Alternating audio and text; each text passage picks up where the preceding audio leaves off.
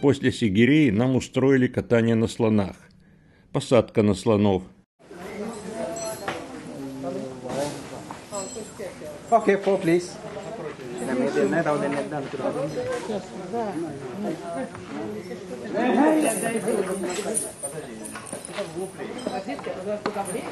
Вот так. Далее снимаю со слона на ходу. По тому, как неустойчив кадр, можно судить о том, что чувствуют пассажиры на спине слона. Недалеко от начала маршрута прогулки на слонах находится исходная точка плавания для туристов на катамаранах. Стоп-кадр.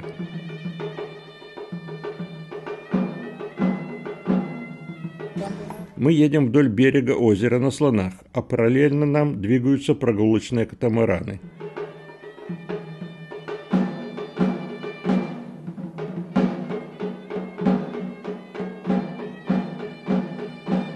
Сегодня время от времени идет дождь, и погонщик слона несет с собой сложенные зонтики, которые дает на прокат туристам. Местные юноши предлагают сделать фотографии камерами туристов. Свою видеокамеру я не решился доверить этому виду сервиса. Вот что получается при попытке использовать зум, снимая со слона. Слон, вернее слониха, по имени Моника, на которой мы едем, продемонстрировала нам процесс дефекации, включая видимый материальный результат и запах. Причем я могу не только видеть, но и нюхать. Это за отдельную плату, да? Я думаю, он с меня сдерет просто. Сторону, а то мы тут завалимся. Нашего слона зовут Моника.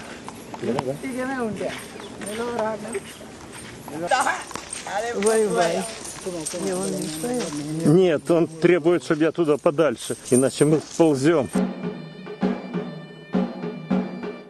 Слоны с туристами заходят в воду, чтобы продемонстрировать нам все возможности этого способа передвижения.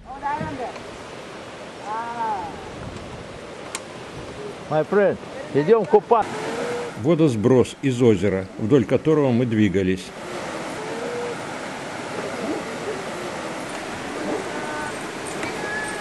Алло!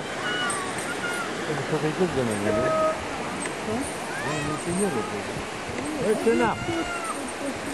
Теперь двигаемся на наших слонах в обратном направлении. Местный человек с лицом, выражающим то ли радость, то ли тоску.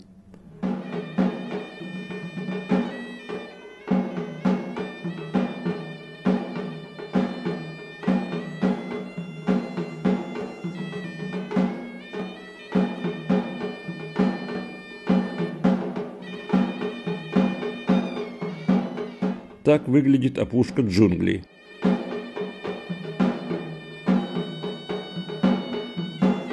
Женщины выскакивали из этого туалета на станции проката слонов с криками «Ужас! Ужас! Ужас!».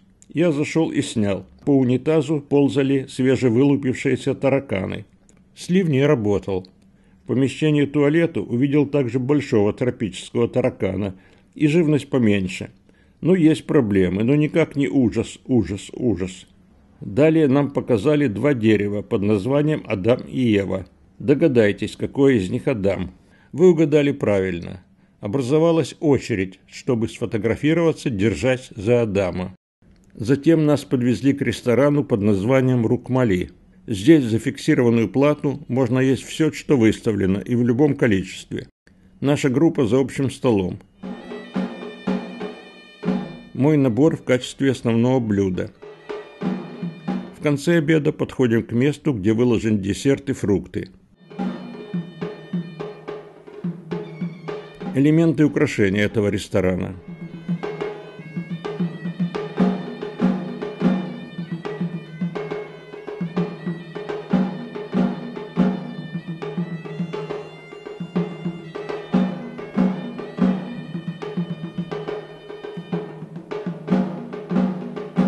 Затем нас привезли к центру древней части города Полонарува. Здесь комплекс храмовых сооружений под названием «Священный прямоугольник». Перед входом в остатки этих священных сооружений следует снять обувь и головной убор. Главная постройка – круглое сооружение в Атадаге, что, как я понял, по-сингальски означает «храм с реликвией». Вид реконструкции сбоку и в плане. Храм датируется XII веком и построен при уже упомянутом нами короле Паракрамабаху, когда Полонаруа достигает наибольшего расцвета. Перед входом в храм лежит полукруглая плита, так называемый лунный камень, назначение которого препятствует проникновению внутрь злых сил. По обе стороны от входа стражи, вырезанные на камнях.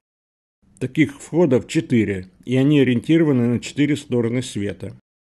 В центре постройки находятся остатки круглой ступы, которая, возможно, была хранилищем священной реликвии – зуба Будды. Внутри, напротив каждого входа, сидят Будды, все спиной к остаткам круглой ступы. Этот Будда сидит напротив входа, через который мы зашли в храм. Другие Будды.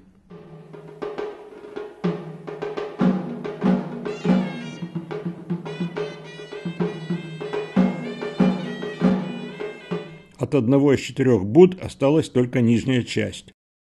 По наружной цилиндрической части храма в камне вырезан орнамент с повторяющимися в разных позах львами, также для защиты святилища от злых сил –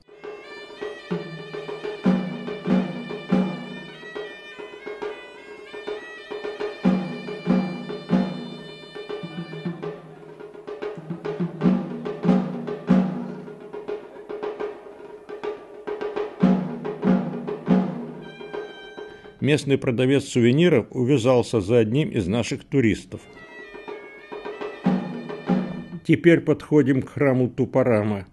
Он относится к XI веку. Внутрь нас не повели, а жаль. Внутри находятся интересные скульптуры из камня с большим содержанием слюды. Благодаря слюде, даже при скудном освещении, скульптуры как бы искрятся. Еще один продавец сувениров – Кажется, он преуспел что-то продать моему напарнику Леониду.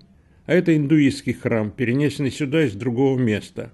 Перед разборкой каменные блоки были пронумерованы и сложены по номерам здесь, на новом месте, но на вид не очень аккуратно.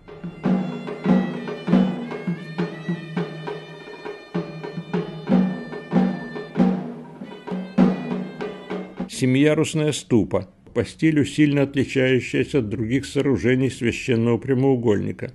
Датируется восьмым веком. Некоторые считают, что, возможно, эта ступа построена мастерами из Таиланда или Камбоджи.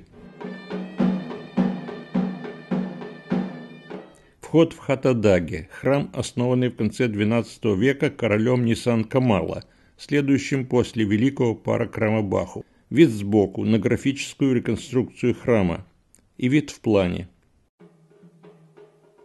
Стены этого храма выложены из блоков разных размеров и формы, но тщательно подогнанных один к другому.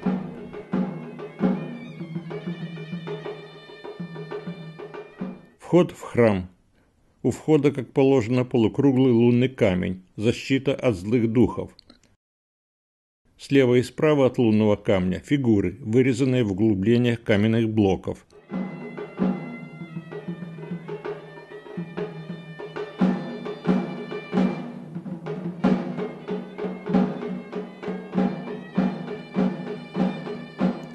глубине храма три статуи Будды, средняя самая высокая.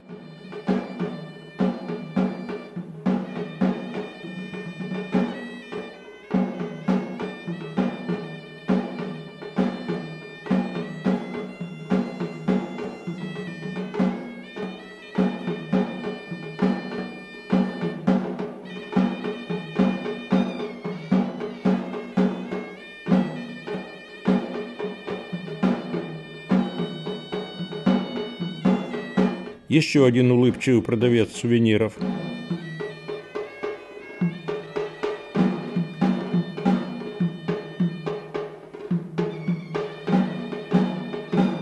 Это каменная платформа, окруженная невысокой оградой с одним входом и с небольшой ступой в центре. Над платформой была крыша, которая опиралась на восемь сохранившихся резных каменных столбов, местами слегка изогнутых изображающих стебли лотоса. Здесь читались на распев буддийские тексты. А это одно из старейших сооружений священного прямоугольника. Оно было построено на 54 каменных столбах во второй половине XI века и также служило для хранения реликвий. глубине сооружения находится статуя стоящего Будды. Не фотографироваться спиной к Будде. Уникальная каменная плита длиной 8-9 метров под названием Галпота, что значит «каменная книга». На камне сверху надписи, относящиеся к времени правления короля Нисан Камала в конце XII века. Статую этого короля мы видели в пещерном храме в Дамбуле. Желающих ознакомиться с текстом надписи на камне, табличка отсылает книги «Эпиграфия Цейлоника», том 2, страницы с 98 по 123. По боковым сторонам камня орнамент из птиц, похожих на уток. На торцах камня изображение двух слонов и Будды между ними, причем Будда на обоих торцах с женской грудью. Пошли. Нет, ну если вы знаете, все в порядке. Нет, я ничего, кроме того, что мы видим, здесь не знаю.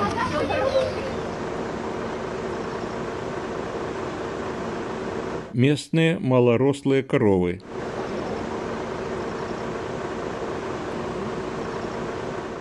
Затем в наступающей темноте подъехали к храму Галвихара, что значит каменный храм. Здесь четыре вырубленные в скале большие изображения Будды. Самое левое изваяние – сидящий Будда высотой 4,6 метра.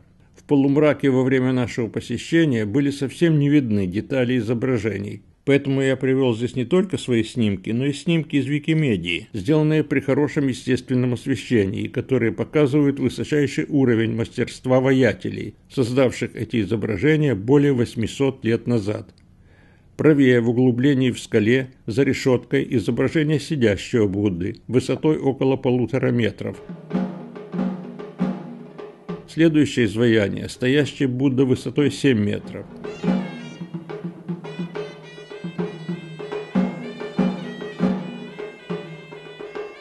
Слоистая структура камня подчеркивает реалистичность изображений. Самая правая скульптура – лежащий Будда длиной 14 метров.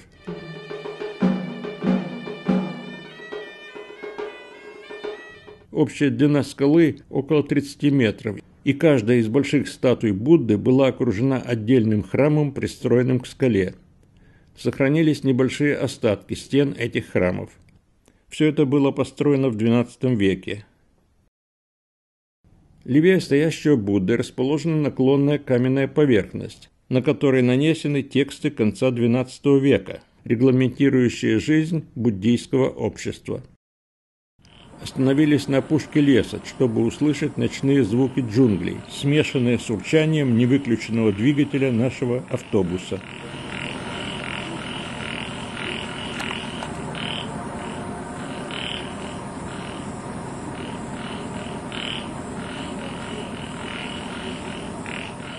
Сегодня праздник Поя, то есть полнолуние. Это один из самых любимых праздников Шри-Ланки. В буддийском календаре лунный месяц продолжается 29,5 дней, и в календарном году 13 дней Поя. День полнолуния считается одним из наиболее благоприятных дней. Каждый год этот день выпадает на разные числа гражданских месяцев и является нерабочим днем – Закрыты все офисы и магазины, а продажа алкогольных напитков запрещена даже в барах отелей. Иностранцы, отдыхающие здесь, могут наслаждаться алкоголем только в номере отеля.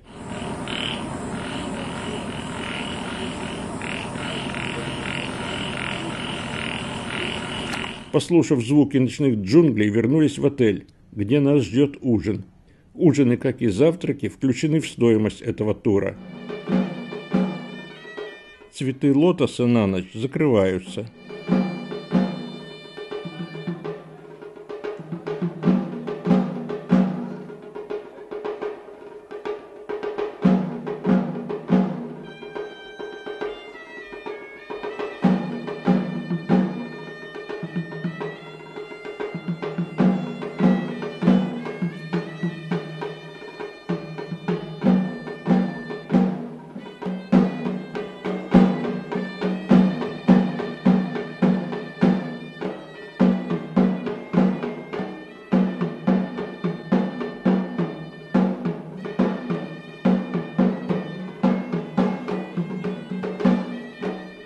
Терраса с бассейном вечером.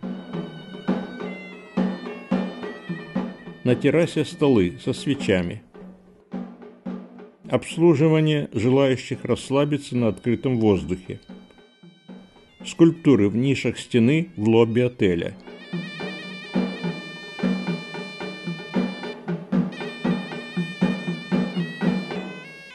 Коридор, ведущий к нашему номеру.